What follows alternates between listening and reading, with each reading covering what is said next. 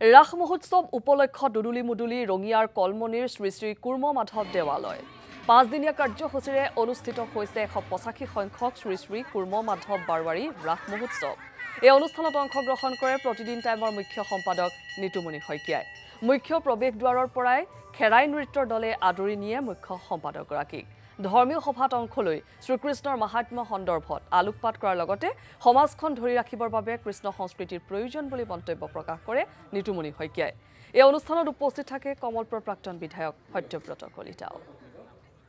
ৰাসৰ যিটো গুৰুত্ব আৰু মহাত্ম আমাৰ অসমৰ বিভিন্ন প্ৰান্তত আচল মহাত্মটো একেই কিন্তু উদযাপিত হোৱা পৰিৱেশটো অলপ পৃথক।